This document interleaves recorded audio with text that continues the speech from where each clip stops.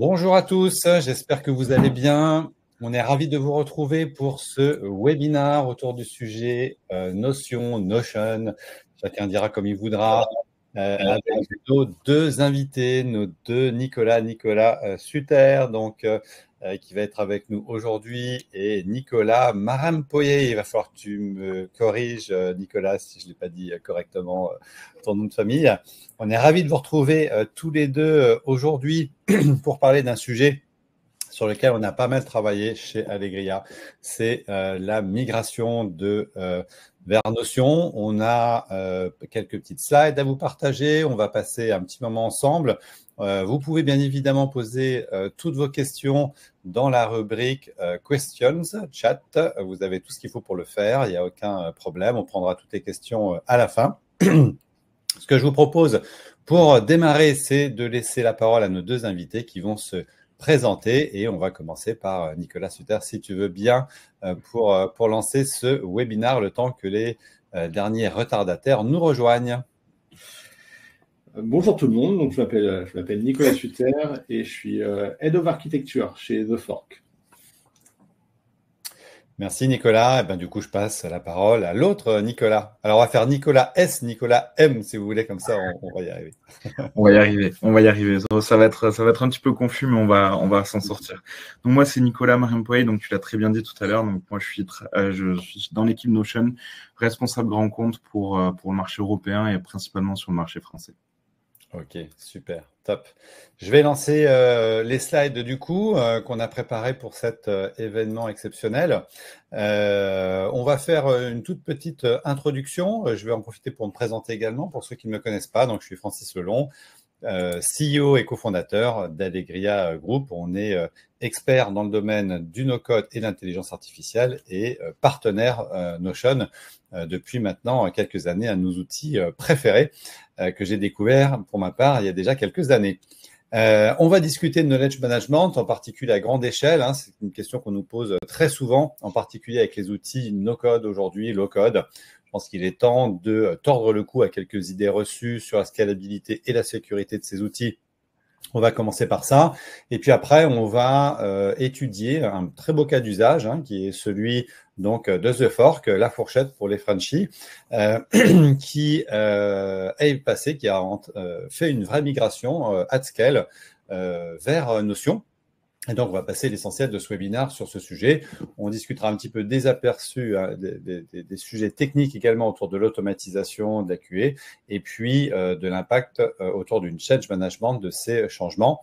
Et on finira par les sujets de gouvernance. Un gros programme non pour nous aujourd'hui, donc je vous invite euh, à ce qu'on démarre tout de suite par cette petite introduction et, euh, eh ben, je propose euh, peut-être à, Nicolas euh, M de nous dire quelques mots sur Notion.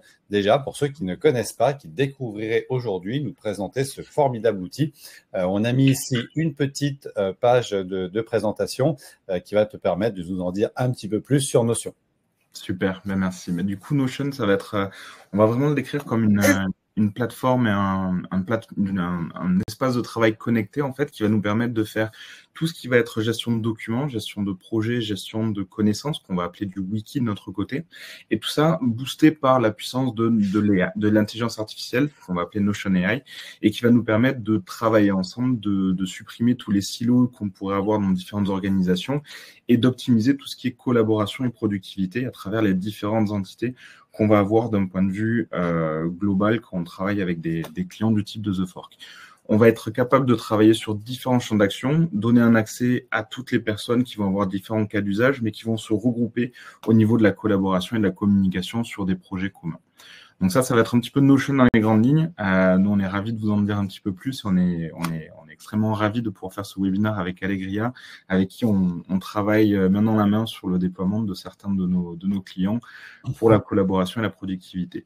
Si tu veux passer sur la slide d'après, qui est plus axée sur la partie entreprise avec laquelle on travaille, euh, où on va avoir un petit peu plus de, on va aller beaucoup plus en profondeur en fait pour permettre aux grands comptes aux grands, quand je parle de grands comptes, c'est des clients avec des, des, potentiels de déploiement assez importants, de plusieurs centaines à plusieurs milliers de licences, où on va être, on va avoir un besoin euh, d'un certain niveau de granularité et de sécurité.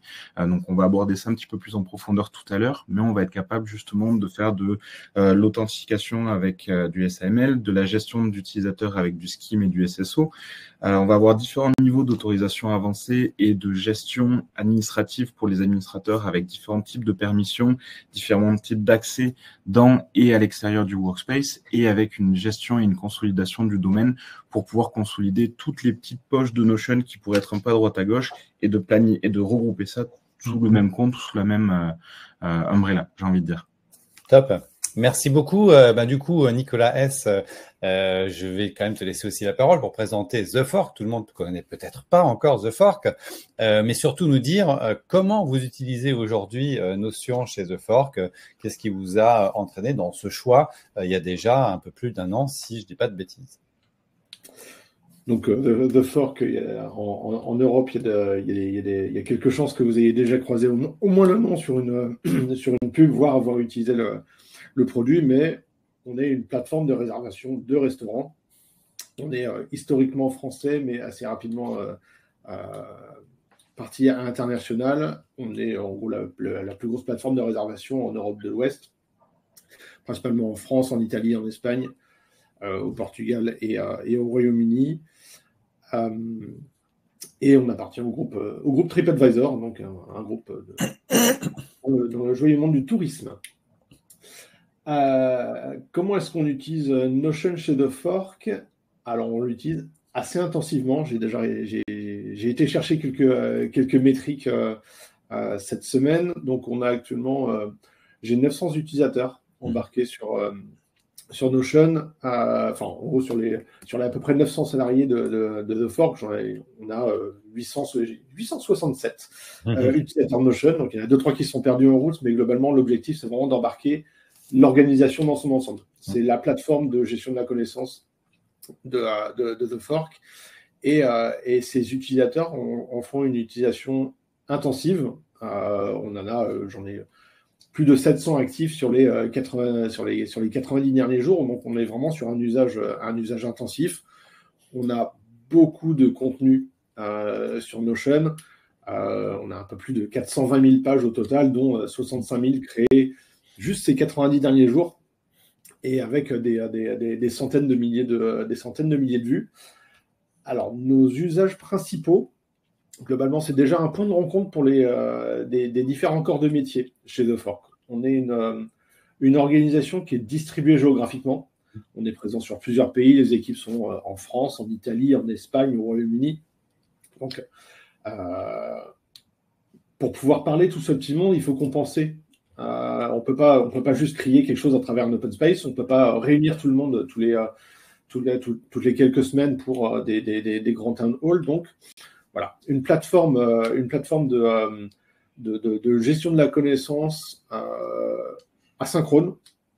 Donc voilà, c'était, important pour nous. Donc c'est, d'abord un point de rencontre.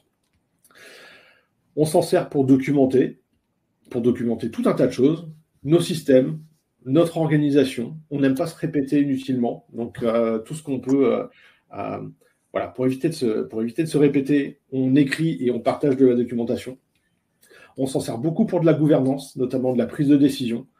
on a pris, je ne sais pas si vous êtes familier avec le pattern de architecture decision record, parce que moi ça me parle parce que je, viens d'architecture, mais disons qu'on l'a l'a élargi à l'ensemble des, décisions qu'on peut prendre, des décisions organisationnelles, des décisions produits, des décisions business, euh, des décisions techniques évidemment.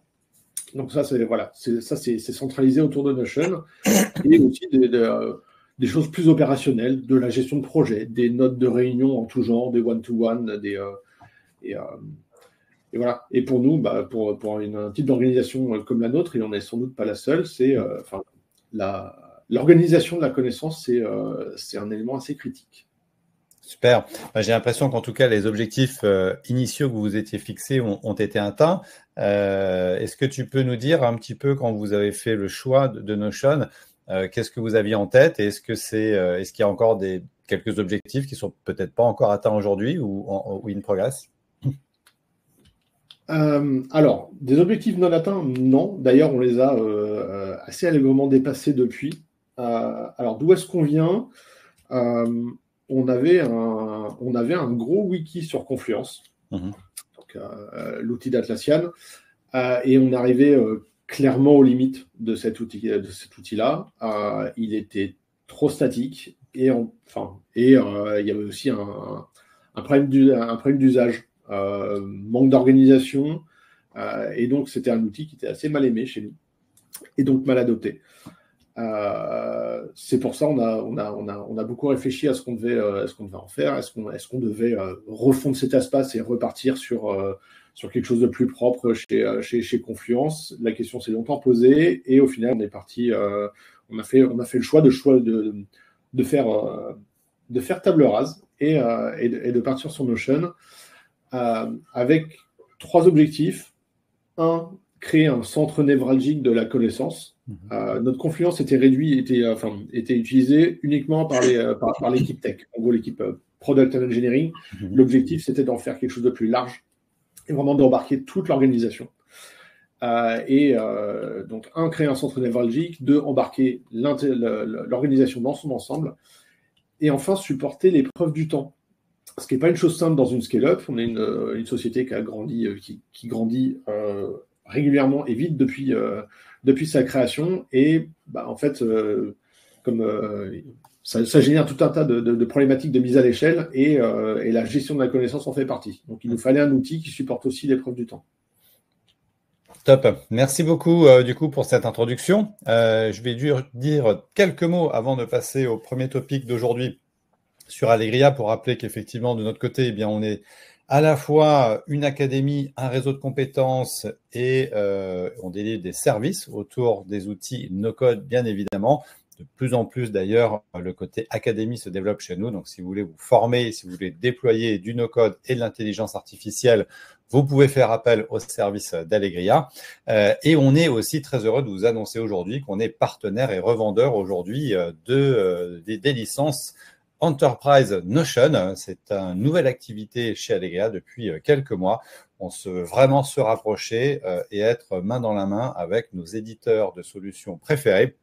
Donc, si vous avez besoin de passer sur euh, Enterprise, les licences Enterprise chez Notion, vous pouvez tout à fait nous contacter, contacter notre équipe Sales et on sera ravi euh, de vous accompagner euh, sur le déploiement de, cette, de ce magnifique outil qu'on adore et d'ailleurs qu'on utilise nous-mêmes ici en interne. J'ai souvent l'habitude de dire à nos investisseurs qu'aujourd'hui, Allegria est entièrement géré avec des outils no-code et d'IA et parfois ça les fait rire, mais je vous assure que c'est une réalité. Je crois qu'on a plus de 300 automations euh, chez Make et euh, quelques milliers de pages aussi sur euh, Notion aujourd'hui. Et on en est ravis. Donc n'hésitez pas à nous contacter. Alors, on va passer directement au premier sujet qui nous intéresse et bah, je vais repasser la parole à, Notion, à Nicolas. comment est-ce qu'on gère du knowledge management à grande échelle? Et ça, c'est vraiment une question qui est importante pour nous parce que on a encore une fois tendance souvent à penser que le no-code, c'est pas scalable. on voit que chez The Fork, ils ont bientôt presque 1000 utilisateurs, donc ça commence à faire beaucoup de monde. Donc, comment est-ce qu'on fait un euh, change management, comment on passe à l'échelle avec des outils de, knowledge management? C'est donc c'est une super question et je pense que c'est un, un problème qui, qui, a, qui est apparu depuis quelques années où il y a quelques années, c'était pas vraiment, ça faisait pas vraiment partie des priorités et il y avait des petites poches de connaissances qui naviguaient à droite à gauche à travers différents outils et c'est encore le cas dans plein d'organisations. Et je pense qu'au fur et à mesure, au, fait, au fur de l'évolution technologique et de l'évolution de tout le monde et de la façon de travailler, euh, on se rend compte que gérer la connaissance et que quand quelqu'un part d'une compagnie et que c'est cette personne-là qui tient toute la connaissance sur un sujet spécifique, on peut se retrouver bloqué sur certains aspects de la, de la gestion quotidienne. Donc du coup, nous, Notion, on est arrivé vraiment sur ce scope-là de pouvoir dire comment et ce qu'on me disait Nicolas tout à l'heure, comment on peut gérer une gestion de connaissances à grande échelle, comment on peut casser un petit peu ces silos de communication qui vont être sur des plateformes euh, X ou Y, qui sont potentiellement des, des plateformes qui sont plus toujours à jour? Donc comment on peut centraliser cette, cette euh, gestion-là? Donc c'est là où on va arriver avec notre force d'expertise, notre force de connaissance et notre expérience sur tous ces sujets-là pour pouvoir euh, ben, comprendre déjà le but, c'est pas d'arriver juste en disant ben voilà, utilisez Notion et ça va résoudre tous vos problèmes. C'est toujours généralement un petit peu plus compliqué que ça. Il faut arriver à comprendre comment les différentes équipes travaillent entre elles, comment les différentes personnes travaillent au sein des équipes, comment les différentes équipes euh, collaborent ou ne collaborent pas à l'heure actuelle pour qu'on puisse arriver et créer une architecture qui soit pas de l'architecture Notion, mais qui soit justement de donner un petit peu cette page blanche qu'est Notion et de dire et de travailler avec nos clients, de dire ben voilà, nous, on peut vous proposer tout ça, mais comment vous, vous avez, quelle est votre vision en fait pour réorganiser votre gestion de connaissances? Mmh. Qu'est-ce que vous avez besoin qu'on mette en place? Euh, Nous, on essaie de pas arriver, de pas imposer les choses à nos clients en leur disant c'est la seule façon de gérer la conduite management, parce qu'il y a des milliards de façons de gérer la conduite management. Donc, c'est vraiment un travail collaboratif entre Notion et ses clients de dire ben voilà, quelle est votre vision quel est le, statu quo actuel, quelle est votre vision de, la gestion de connaissances et comment nous, on peut vous aider à travers notre expertise pour mettre en place cette architecture et cette collaboration entre les différentes équipes. Et il y a potentiellement des équipes qui vont être très, très intuitives autour de, des nouvelles technologies, d'autres qui vont être un petit peu plus réfractaires en fonction de leur rôle, en fonction de leur, euh, de leur responsabilité. Donc, il faut qu'on arrive à, à canaliser et contrôler tout ça, entre guillemets, euh, ensemble avec nos, nos, clients et avec nos partenaires pour qu'on puisse justement amener euh, cette évolution. Donc encore une fois, c'est pas quelque chose qui se fait en un claquement de doigts, mais c'est quelque chose qui s'accompagne au fur et à mesure euh, avec nos clients et qui permet justement d'enlever tous ces silos de, de toutes ces poches en fait de collaboration qui ne de, de communication qui communiquent pas entre elles et d'arriver à unifier cette collaboration pour que, comme, Nicolas le disait tout à l'heure, avoir des personnes qui vont contribuer à différents niveaux au sein de l'entreprise, que ce soit juste pour eux et leur note personnelle, pour leur note avec leur management, de la collaboration au sein de l'équipe, à travers différents départements, via différents projets, ou d'avoir une vue holistique de la part du management sur tous les différents projets qui peuvent se passer dans l'organisation. Donc ça, ça va être un, travail de, longue haleine qu'on va faire ensemble avec nos clients. Oui, c'est très bien que tu en parles et tu as dit quelque chose qui est très important. Nous, ce qu'on adore effectivement dans Notion, c'est cette possibilité d'arriver sur la page blanche, mais ça peut faire peur aussi parfois la page blanche. On y reviendra euh, tout à l'heure sur le sujet du change et de l'adoption par les utilisateurs. Euh, du coup, Nicolas, euh, chez The Fork, tout à l'heure, tu nous disais euh, effectivement que tu commençais à atteindre des limites sur Confluence. Est-ce que tu peux euh, peut-être nous partager quelques points très spécifiques des obstacles que tu avais euh, dans la gestion du, knowledge management dans les outils que vous utilisiez avant? Ouais. Bah, parmi les limites, il y avait le, volume déjà. On, avait une, documentation qui, à l'époque, était déjà volumineuse. On parle de, on parle de plusieurs dizaines de, milliers, de milliers de pages. Euh, et, et, l'organisation à ce moment-là était très euh, statique. Enfin, Confluence à l'époque, c'était, euh, ça, restait un, ça restait un wiki. On aurait, pu, on aurait pu mieux le gérer, mais on ne pouvait pas faire tout ce qu'on, tout, ce qu'on souhaitait. Et le, le, principal problème, c'est la qualité du contenu. Enfin, il faut, il faut, il faut vraiment voir la, la, la, la, documentation écrite comme, comme étant une entité avec un cycle de vie. Ça, ça, ça naît, c'est utilisé et ça doit disparaître. On a un peu tendance à accumuler les choses et à jamais les, euh, et, à, jamais les supprimer, les archiver. Et euh, nous, on s'est retrouvé euh, tout bonnement noyés dans tout un tas de contenus dont on avait du mal à juger de l'obsolescence et globalement une, un, document qui est désynchronisé de la réalité. Mmh. Il, est, il est au mieux pas utile, au pire, il est néfaste. Il peut vous entraîner à prendre des mauvaises décisions, à, prendre, à faire des mauvaises assumptions, et, ça, peut nous, ça peut nous entraîner à, à, faire des erreurs. Hmm. Euh, euh, et, enfin, bah, on avait euh, ouais, l'adoption. seule, seule, une partie de l'organisation avait accès à, hmm. cette documentation.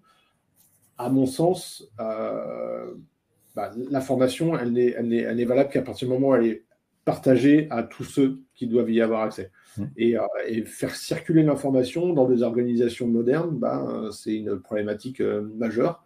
Alors mmh. chez nous, elle se matérialise euh, très fortement du fait de, notre distribution géographique, mais, mais, mais, même, même, à, même à quelques dizaines dans un, dans un, sur, sur, sur, un même site, ben, l'information, elle, doit rester, elle doit rester à jour, elle doit rester accessible. Donc on parle, voilà, on parle, on parle recherche, on parle on parle organisation correcte de, la documentation et voilà, on se heurtait clairement à tout un tas de limites avec, hmm. notre, avec notre, ancien, notre ancien système. Tu parles d'un élément qui est important, le fait qu'avant, Confluence était restrict euh, adopté uniquement par une petite partie des équipes, j'imagine plutôt le côté dev. Est-ce que cette historique dev en termes du X, du Y, de confluence, euh, quand tu veux avoir une adoption globale dans l'entreprise, euh, c'est pas un petit inconvénient par rapport à Notion qui est avec, on sait qu'une des forces Notion, c'est vraiment son interface. Est-ce que là, effectivement, en termes d'adoption, j'anticipe déjà un petit peu sur la, dernière partie sur l'adoption, mais est-ce que c'est un élément clé dans, votre choix Ah, mais clairement. Et il y aura, et même parmi les, utilisateurs de l'équipe de l'équipe Product Engineering, j'aurais pas grand monde qui regrettera notre, bon vieux Confluence. Mhm. En termes d'interface, euh, on n'est clairement pas dans, le, dans, la, dans la même gamme en termes de, euh, d'expérience utilisateur, d'utilisabilité, de collaboration, extrêmement important. Euh, enfin, un, usage qu'on va retrouver très souvent chez nous, c'est de multiples personnes qui collaborent en temps réel sur un même document. Bah, globalement, c'est ce qu'on enfin, c'est, ce qu'on, c'est ce qu'on trouvera dans tous les euh, les, outils modernes de, bureautique, euh, que ce soit chez Google ou chez autres, ben, globalement, ce sont ce type de fonctionnalités auxquelles les gens s'attendent. Hmm. Et quand on parle d'une organisation de plusieurs centaines ou plusieurs milliers de personnes, ben, c'est des cas d'usage qui arrivent, qui arrivent très régulièrement. Hmm. Euh, je vais d'ailleurs rebondir sur la première raison qui était le volume de données euh, pour euh, passer à notre deuxième sujet du jour qui est la migration. Donc on a eu à gérer avec, avec toi Nicolas chez, chez The Fork avec les équipes d'Allegria. effectivement, on a été nous-mêmes très surpris du volume de données que vous aviez à passer d'un outil à l'autre. Euh, on est actuellement en train de travailler sur, euh, avec l'AFNOR, la normalisation du no-code. Et un de nos sujets, justement, c'est cette problématique de réversibilité, de la capacité des outils aussi no-code de pouvoir passer de l'un à l'autre. Euh, là, on a vu qu'il y avait quand même eu du, travail, qu'il a fallu le, faire. de ton côté, chez, chez Notion, c'est quoi les meilleures pratiques que tu recommandes aujourd'hui pour les entreprises qui ont des gros volumes de données à migrer? nous, le conseil qu'on donne du côté des gaz, d'ailleurs, déjà de considérer que c'est oui, c'est possible parce qu'on peut la structurer, on peut faire des ponts, euh, il y a potentiellement quelques API qui existent pour le faire, même s'il y a du travail euh, potentiellement manuel. Mais aujourd'hui, il ne faut pas avoir peur de migrer même des grandes quantités de données. La preuve, c'est possible. Complètement possible en fait et, je pense que l'exemple de The Fork ça nous a ça nous a tous permis d'avancer parce qu'on n'avait pas forcément de, capacité automatique de le faire à ce moment-là donc du coup je pense que les, équipes d'Allegria ont mhm. sont pas mal retroussé les manches avec les équipes de The Fork et il y a eu pas mal de pas mal de pas mal de challenges sur cette migration-là. Et du coup, nous, forcément, en tant qu'éditeur, on a vachement appris de ce, de ce process-là. On a été extrêmement, euh, extrêmement euh, j'ai plus le mot en français, j'allais dire grateful, mais euh, on a été, on a vraiment apprécié Merci d'avoir justement mais autant de patience des équipes The Fork et Allegria, euh, parce qu'il y a plein d'autres clients qui auraient pu dire c'est trop compliqué, on annule tout et on reste là où on était. Mais nous, par contre, le fait d'avoir fait cette expérience-là, ça nous a permis de, de se dire on n'a pas envie que ce soit aussi compliqué pour tout le reste de nos clients, et on a mis en place justement différents importeurs, euh, notamment un importeur depuis Confluence pour faciliter cette transition, pour que justement, au lieu d'avoir potentiellement plusieurs heures, plusieurs dizaines d'heures de travail manuel de, la part de tout le monde, on est quelque chose de beaucoup plus efficace, de beaucoup plus automatisé à travers les importeurs. Donc là, on parle de Confluence, mais forcément, nous, on, on vise pas que Confluence. On a avec la gestion de, avec la mise en place de la gestion de projet au sein de Notion, on a forcément dû ouvrir notre scope d'importeurs vers d'autres solutions comme Asana, comme Monday.com, pour permettre une automatisation de, de l'import de données évidemment, nous, ce qu'on recommande quand il y a de ce grand type de, de, migration, ça va être de, ça va être un bon moment aussi pour faire un peu du nettoyage. Et c'est là où le rôle du knowledge manager, par exemple, ou des équipes IT, quand c'est eux qui s'en occupent, va être super important parce que le but, c'est pas juste de faire un copier-coller, mais de d'utiliser ce type de migration pour faire une optimisation de la connaissance, parce qu'il y a peut-être du contenu qui est plus du tout à jour, du contenu qui a peut-être pas besoin d'être migré pour X ou Y raison. Donc, c'est pas juste faire un bête copier-coller, mais de vraiment faire une analyse de quel est le contenu qu'on veut migrer. Est-ce qu'on veut juste le copier-coller ou est-ce qu'on veut s'en servir pour refaire une architecture et une différente structure, un petit peu comme, euh, comme The Fork a fait. Donc, c'est toutes ces actions-là qui vont être importantes. Donc, nous, dans notre, dans notre stratégie d'import, c'est pas juste d'avoir euh, cliqué sur un bouton et ça copie tout sur une plateforme, mais d'avoir une vraie conversation, une vraie stratégie, en fait, autour de cette migration pour que ce soit le plus efficace possible lorsque les, personnes arrivent sur Notion après la migration c'est là où nous, effectivement, on intervient et je te confirme, effectivement, euh, nos équipes préfèrent largement déployer Notion que migrer. C'est beaucoup plus sympa. c'est pas la tâche la plus euh, sympathique à faire, la partie migration, mais il faut la faire. Il faut passer par là, bien évidemment, parce que l'essentiel de nos clients euh, ont un, avaient déjà avant un autre outil.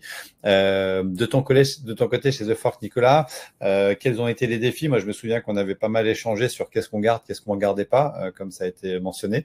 Est-ce que tu as d'autres souvenirs un peu des défis les plus importants qu'il a fallu euh, surmonter, bien évidemment, au-delà du, volume qui est une évidence.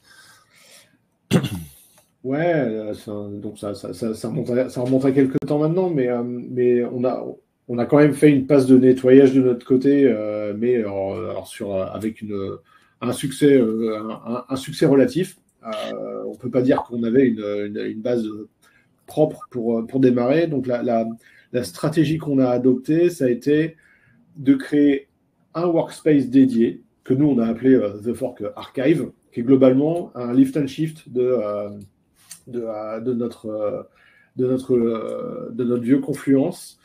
Et donc on mettait cette, cette, archive à disposition et la, consigne qu'on a donnée à, à, nos utilisateurs, c'était en fait quand vous avez une doc dans le, enfin une doc tirée de Confluence qui est encore pertinente, vous allez la déplacer vers le, workspace cible, qui est notre workspace officiel, au bon endroit, en la remettant, euh, en la remettant, en la remettant à jour. Mais voilà, donc c'était, euh, c'était vraiment, elle est là. D'ailleurs, elle est encore utilisée de temps en temps. Un, on, a, un usage sporadique, hein. mais, euh, mais, mais c'est encore utilisé encore par certains, certains utilisateurs qui vont chercher de temps en temps un vieux, un, vieux document. Et, et s'il est, est pertinent, ben voilà, ils, vont, ils, vont, ils vont le déplacer et, et, le mettre au bon endroit voilà, ça nous permettait d'avoir euh, à la fois accès à notre ancienne base de connaissances dans Notion et en même temps de commencer et de, mettre en place une structure euh, propre dans notre, dans notre workspace officiel, un truc vraiment pensé de zéro à l'échelle de l'organisation. Euh, et donc, bah, on, a, on, a passé, ouais, on a passé pas mal de temps à élaborer cette, cette stratégie. C'est pas c'est pas quelque chose qu'on s'attend qu'on forcément à faire dans une dans, une entreprise, mais c'est faut, faut voir le coût de pas le faire. Euh, et, c'est pour ça qu'on était, euh, enfin, je suis content qu'on ait passé ce, ce temps-là. Euh, donc on a passé du temps à élaborer cette stratégie. On ne voulait pas tout perdre. On avait beaucoup de, on avait beaucoup de contenu, mais il a, fait, il a vraiment fallu réfléchir à mettre en place la, la, la bonne organisation, la bonne gouvernance. On va, je pense qu'on va y en, parler un petit peu après, parce que bah, ça ne s'improvise pas une gestion, une gestion de la connaissance à cette échelle. C'était un exercice à contrainte et, et au final, Enfin, je pense qu'on s'en, je pense qu'on s'en est bien sorti et ça nous a permis de bénéficier à la fois de de ne pas perdre ce qu'on avait dans le passé, mais vraiment de, et de, d'utiliser Notion et ce, ce, à, quoi l'outil est bon, euh, sans, voilà, en, ne répliquant, en ne répliquant pas la structure, euh, structure initiale qui n'était pas la bonne. Euh, je vous ai mis ici un petit slide hein, sur euh, le dernier importateur de données euh, automatique proposé par Notion. Donc, vous voyez qu'il y a effectivement un certain nombre de plateformes maintenant qui sont semi-automatisées dans la possibilité de faire les, les, changements. Mais bien évidemment, l'automatisation remplacera jamais le travail dont on a parlé précédemment de tri. Et ça, il faut le faire aussi. Hein, si l'objectif c'est effectivement juste de migrer manuellement tous les fichiers, euh, ça fait pas forcément euh, beaucoup de sens. Euh, pour compléter d'ailleurs ce sujet-là concernant les aspects un petit peu techniques, automatisation, je sais que vous investissez beaucoup sur l'IA. Hein. Vous avez été un des premiers outils chez Notion à intégrer un agent IA parmi les premiers. Vous n'avez pas été les premiers à avoir une API, ça, ça a pris un peu plus de temps. Vous avez été les premiers à avoir un des premiers à avoir l'IA intégré. C'est quoi un petit peu les perspectives techniques chez, chez Notion autour de l'automatisation et de la QA aussi en particulier, qui sont des sujets sur lesquels on a eu beaucoup à travailler au moment de la migration des données, puisqu'on devait aussi garantir que ce qui arrivait de l'autre côté était de, de qualité. Donc ça, effectivement, ça fait partie des, points qu'on travaille de, façon assez poussée en ce moment. Nous, on a vraiment une vision de se dire que Notion va travailler avec l'intelligence artificielle dans le futur et on voit ça comme une solution unifiée dans les, dans les prochains mois. Donc on est vraiment dans cette dynamique-là où l'objectif, c'est de, comme tu disais, c'est de, pouvoir être sûr que le contenu soit toujours, euh, toujours intéressant, toujours euh, qualitatif et toujours à jour. Donc on a plusieurs actions qui vont arriver Euh, déjà, donc avec la partie euh, Notion AI, quand on a en place sur le compte, on va être capable de pas juste aller naviguer dans la recherche, dans la barre de recherche pour aller accéder au contenu, mais de pouvoir poser une question directement en disant, ben voilà, quel est le workflow pour telle tâche spécifique, et d'avoir Notion Q&A qui va pouvoir nous donner euh, des informations à jour de, euh, ben, de, du workspace en disant ben voilà le workflow pour telle ou telle tâche ça va être ça ça ça et les pages de référence ça va être les pages en 2 3 4 qui vont ci-dessous.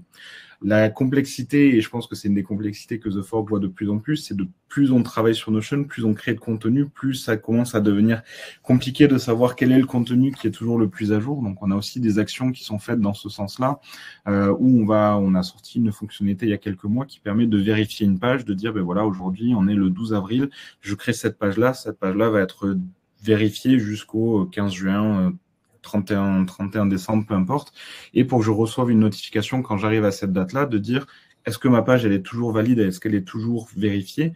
Oui, non, et après je peux la mettre à jour, remettre un tag de vérification. Donc tout ce processus autour de la vérification de, de et la la, vérification des données, de, de la connaissance, c'est quelque chose de très important pour nous.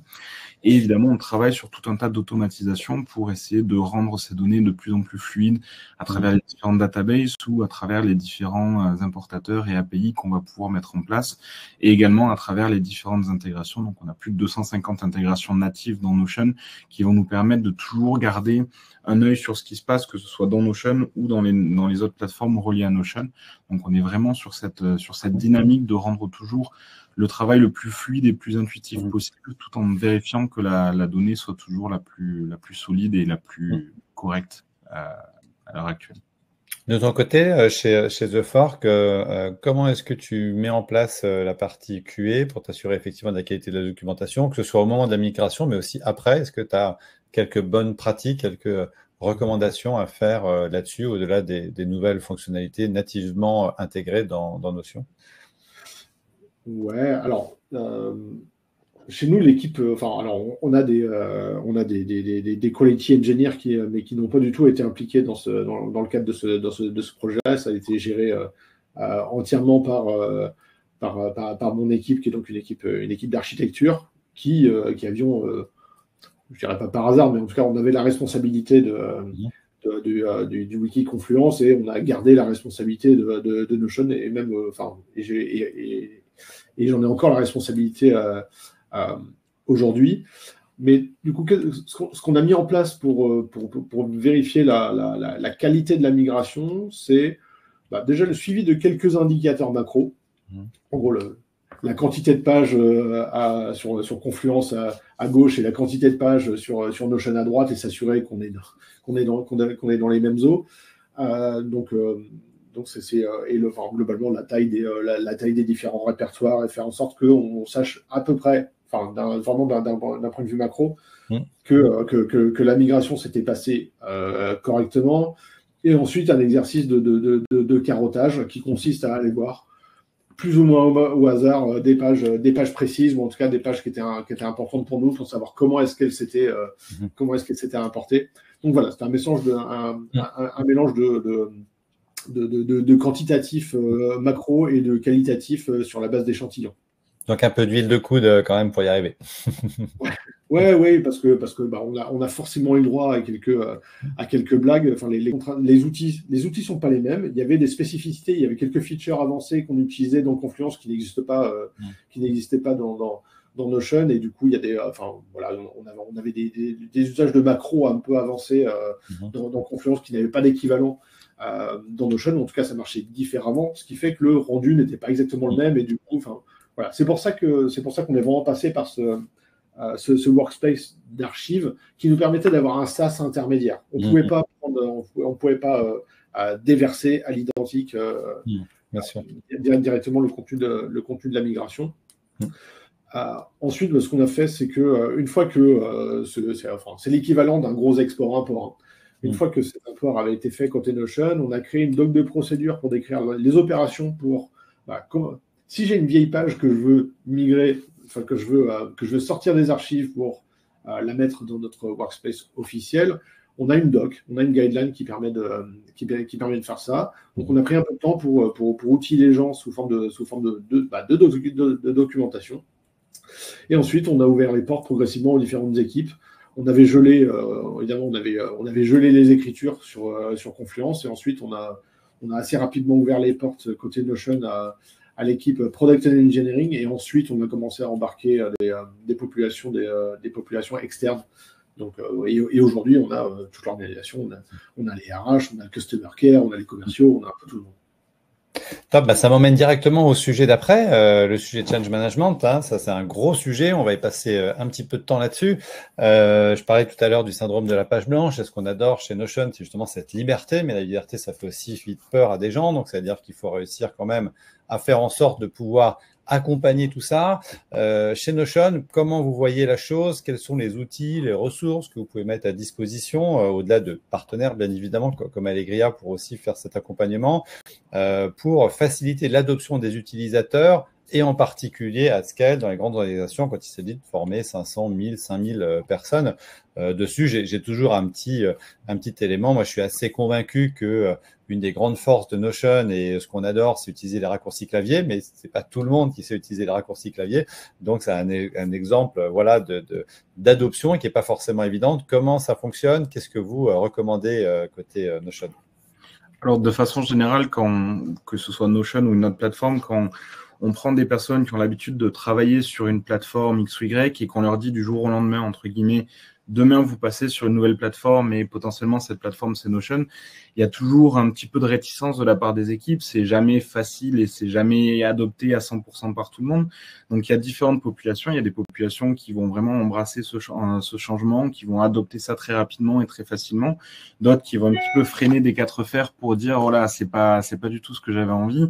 Différents niveaux de management, différents acteurs, différents bloqueurs dans le dans le dans l'entreprise. Donc tout ça c'est un c'est une espèce d'écosystème qu'on doit naviguer nous de notre côté, de comprendre vraiment de pourquoi il y a cette transition, quels sont vraiment les, les, les quels sont les, les, facteurs de décision qui ont poussé à passer sur Notion, et du coup comprendre de comment, ben voilà, si la, difficulté c'était sur la collaboration, comment nous on peut mettre l'accent sur cette collaboration. C'est ce que je disais un petit peu tout à l'heure, c'est vraiment quelque chose qui doit être fait en, en partenariat avec, euh, avec nos clients et avec les partenaires éventuellement quand ils sont impliqués dans, dans ce type de migration pour que tout le monde et bien conscience des différentes priorités pour qu'on puisse amener tout le monde au même, peut-être pas au même rythme, mais vers le même résultat. Donc ça, ça va passer par différentes euh, façons de travailler. Donc notamment, nous, on va, on, a l'habitude de décrire Notion comme une page blanche, mais des fois de se retrouver seul face à une page blanche, ça fait un petit peu peur.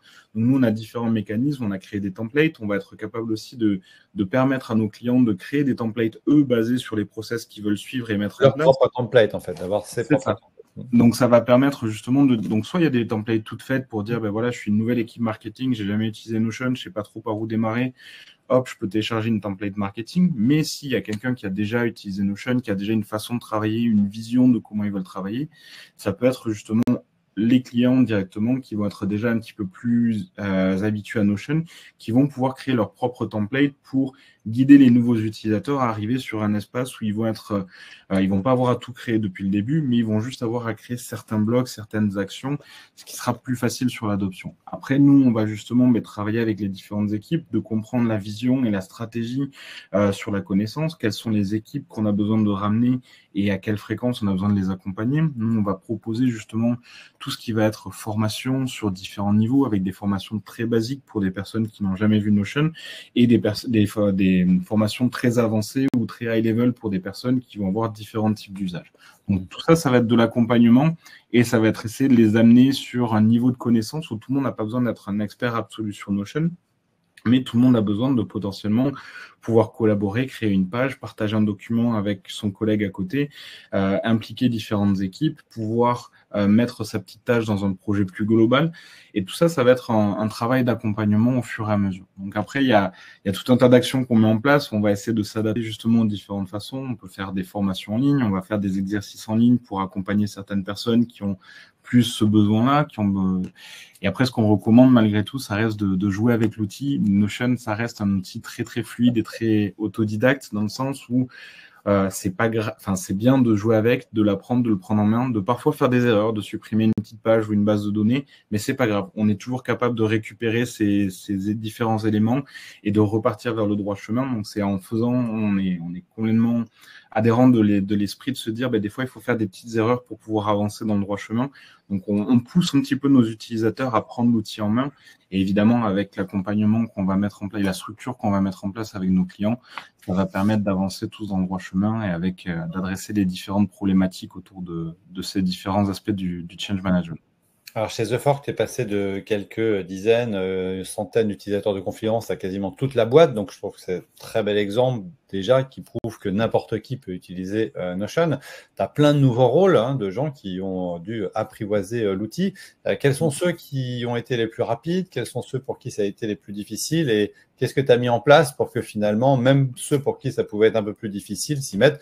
Je sais pas, je pose une question. Hein. Est-ce que par exemple à la finance tout le monde utilise euh, Notion aussi, par exemple. Euh, Ouais, ouais, tout le monde utilise, euh, tout le monde utilise Notion. Alors comme comme, comme, tout outil qui a vocation à être utilisé par l'intégralité de l'entreprise, il n'y en, a, y en a pas beaucoup, hein, mais globalement, les autres, ça va, être quoi? ça va, être, les mails, ça va être Slack. Et d'ailleurs, je pense que le, le, le, parallèle, je fais, je fais régulièrement le parallèle avec Slack en gros, c'est, euh, Notion Slack, c'est des outils où c'est extrêmement rapide de faire ces tout premiers pas. C'est des outils qui sont extrêmement simples à prendre en main et qui sont blindés de fonctionnalités plus avancées qu'on peut apprendre au fur et à mesure, mais on n'est pas, euh, on n'est pas envahi par cet ensemble de fonctionnalités. Elles sont, elles, sont, elles, sont, elles sont bien disséminées, elles sont bien planquées et il faut, il faut savoir ouvrir les bonnes portes pour les trouver. Mm-hmm. Euh, enfin, euh, chez, Notion, ça va être, l'utilisation du slash, où là, d'un coup, hop là, il y a tout un tas, tout un d'options qui s'offrent à, moi. Euh, on, parlera probablement des bases de données qui, pour moi, sont clairement la, la, la, killer feature de Notion. Mais euh, c'est pas un outil qui vous en met plein la vue tout de suite et qui vous noie sous l'information. Et, euh, et, voilà, c'est plutôt un truc qui, se, qui, qui, qui, qui s'apprivoise et, mhm. euh, et, selon la vitesse à laquelle on est capable de, de, s'embarquer, et eh ben, et eh ben, très bien. Euh, et au final, aujourd'hui, euh, ouais, on a des populations même plutôt conservatrices dans l'entreprise qui, qui on, a, on, on, a fini par les embarquer. Alors, ça ne s'improvise pas. Mhm. On a mis en place plusieurs mécanismes pour ça. La première, ça a été une guilde de documentation. C'est un petit groupe de personnes, d'utilisateurs plutôt avancés, mais qui, ont, euh, qui, aiment bien partager euh, ce qu'ils font euh, et, leur usage de Notion et qui, font, du support. elle, a son, channel sur Slack pour qu'on puisse la, contacter et c'est notamment elle qui est responsable de gérer les droits d'accès pour les zones sensibles de, notre, de notre workspace. On a fait des sessions d'onboarding pour les nouvelles équipes qu'on embarquait pour, euh, pour, pour, leur expliquer déjà, déjà l'outil, euh, les envoyer dans la bonne direction, et notamment la doc, euh, la doc officielle qui est super, mais aussi qu'elles comprennent notre implémentation de, de, Notion et comment est-ce qu'on avait organisé le, le, le, workspace. Donc, on a fait des, des sessions d'onboarding, on a fait de la doc. je parlais des guidelines tout à l'heure pour tirer une archive vers le, le, workspace officiel. donc, on a, on a, on a quelques docs. comment est-ce que, quel est le process pour inviter pour, pour, pour, pour pouvoir euh, inviter un, guest sur, euh, sur Notion. Voilà, donc on a, on a, quelques, on a quelques, quelques docs pour euh, nos, nos, process standards et surtout on a, on a structuré les choses. Comment, enfin, quel workspace, quel T-space, quelles sont les bases de données, quels sont les templates qu'on met, met à disposition. Mmh. Donc voilà, accueillir une, une population large, voilà, ça s'improvise pas, ça prend du temps, mais c'est du temps que c'est important de consacrer. Le temps, c'est ce qui va nous manquer. Euh, on arrive déjà presque à la fin de ce, de webinaire. Euh, il y a une dernière partie que je veux absolument qu'on prenne le temps euh, d'évoquer. c'est la partie gouvernance. Tu parlais, Nicolas, chez The Fork, du fait que tu pensais qu'une des key features de Notion, et je suis d'accord avec toi, c'est justement les bases de données. Donc, ça veut dire qu'on a beaucoup de données à manager, à piloter dans un outil comme Notion. Potentiellement, ça pose la question des droits d'accès. Qui a accès à quelles données? Qui peut voir quoi dans l'outil? Qui peut voir quoi avec euh, également euh, euh, la version bêta de, Notion qui permet de poser des questions à Notion pour trouver de la donnée? Comment tu gères ça? Comment tu as fait sur les données critiques? Comment tu gères les ouvertures? Comment tu gères les rôles? Comment ça fonctionne dans, Notion? Alors, on a, une, on, a une, on a une ligne directrice qui est, par défaut, tout est public.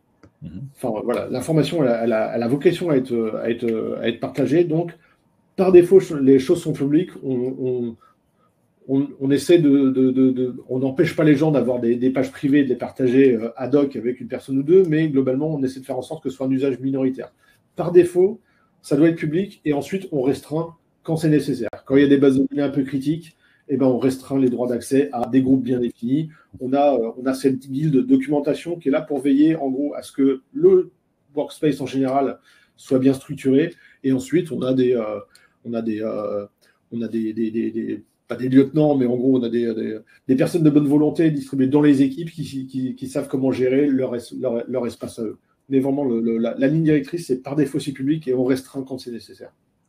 Euh, Nicolas, chez Notion, euh, qu'est-ce que vous proposez euh, dans l'outil Comment ça se passe, la gestion de la gouvernance de la donnée? On sait que avec The Fork, on reste quand même un peu dans un univers startup at scale, hein, mais bah, quand on va parler des corporates, des sujets où malheureusement chez eux, souvent l'information n'est pas aussi bien distribuée. Est-ce qu'on peut aujourd'hui concrètement être un corporate et utiliser Notion et gérer correctement la gouvernance de ces data? Alors complètement, nous on a, plusieurs clients qui vont avoir des, comptes avec plusieurs milliers d'utilisateurs où on est obligé d'avoir ce type de gouvernance-là. Donc c'est un petit peu ce qu'a évoqué euh, Nicolas tout à l'heure où il parlait justement des différents team space avec des différents niveaux de permission. On va avoir des, on est en train de travailler, ça c'est un travail régulier de chez nous pour amener justement ben, de plus en plus de granularité sur les permissions, de pouvoir restreindre différents accès, de pouvoir bloquer certaines parties du workspace pour des personnes qui n'ont pas besoin d'avoir accédé à un projet super secret en finance ou en recrutement, par exemple, qui vont être des, des, des zones un petit peu plus sensibles. Donc, on est en train de travailler sur tous ces plans-là. Évidemment, le fait d'avoir euh, le, le, respect des données, la protection des données, c'est quelque chose de très important chez Notion. On ne pourrait pas avoir la présence qu'on a en Europe si on n'était pas compliant avec la, la RGPD et d'avoir vraiment ce, euh, ce ce côté rassurant en fait pour que les, les, entreprises puissent nous faire confiance et mettre tout leur type de données sur Notion. Donc on est on fait des travaux réguliers avec euh, avec nos services juridiques pour être sûr et sécurité pour être sûr que toutes les données qu'on met en place soient forcément protégées et également pour améliorer l'outil dans ce sens-là pour donner de plus en plus de flexibilité aux différents administrateurs pour pouvoir protéger et euh, et donner accès ou non à certaines parties du workspace en fonction de la hiérarchie, en fonction du rôle de tout un chacun. Donc ça va se traduire dans l'usage général, mais également à travers les bases de données où on va être capable de verrouiller certaines bases de données pour éviter que tout le monde puisse faire n'importe quoi, mais qu'il puisse rentrer que certains champs dans les bases de données et éviter ainsi de créer un petit peu des, situations un petit peu chaotiques. Donc on est, on est vraiment dans cette zone-là, dans cette, dans cette mentalité-là de continuer à protéger et on a ramené plus de 90 euh, améliorations l'année dernière dans Notion, donc on a, on a l'intention de rester plus ou moins dans la même dynamique et de continuer à améliorer Notion. Donc le, le Notion que vous voyez aujourd'hui sera probablement pas le même que vous verrez dans un an.